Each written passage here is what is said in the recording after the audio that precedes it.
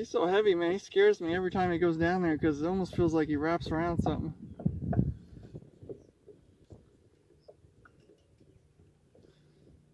I'm going to have to go for a gill.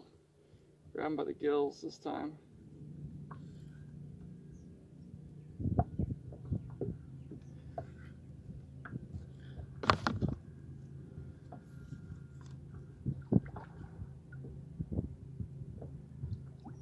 Him by the tail. Nope, stay here, stay here, damn it. Oh shit.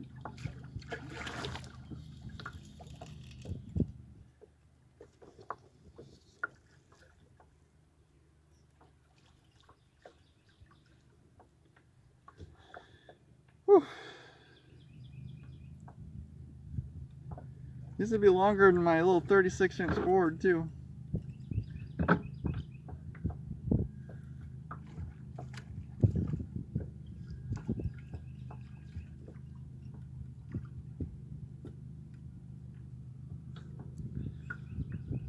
Alright.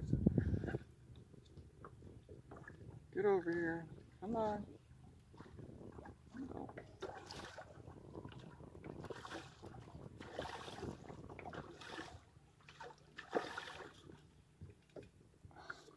Alright.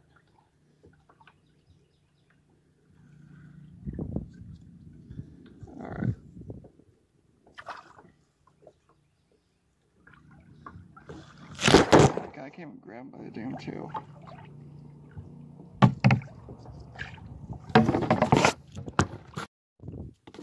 Alright, number one to get him in the boat failed with about a couple gallons of water coming in my kayak.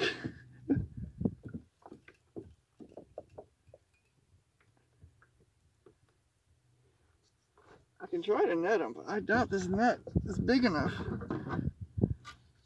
Nope, it is not.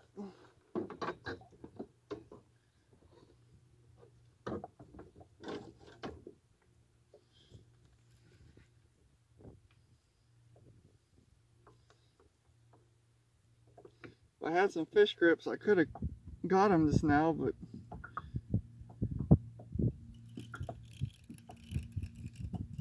damn, he's taking drag.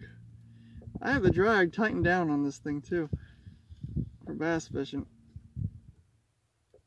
Since there's so many stumps, I don't really want him to go down there too far.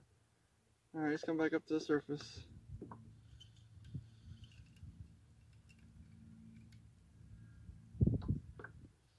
Oh. Come on.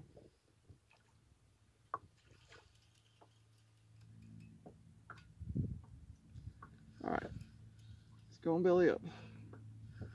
Get my kayak over there to him. See if I can grab him by the gills this time.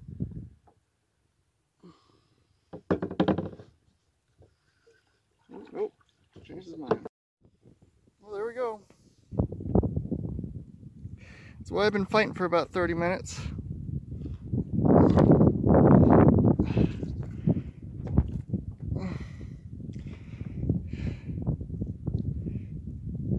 Gonna have to get the short away this guy and stuff.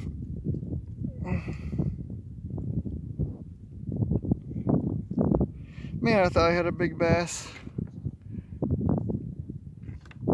This thing's about the half the length of me. Alright, my attempt to take him back to my truck is gonna suck. I had him in my kayak, but he was damaging too much stuff, so I had to stick him outside. So, hopefully he survives the trip. Made it to shore. I got him all weighed up. 26 pounds. But I think I killed him when I brought him in. It was about a 30 minute fight. He never never stood a chance against the redfish. Been trying to revive him, but with no luck. But I wasn't getting them in, pulling them in fast.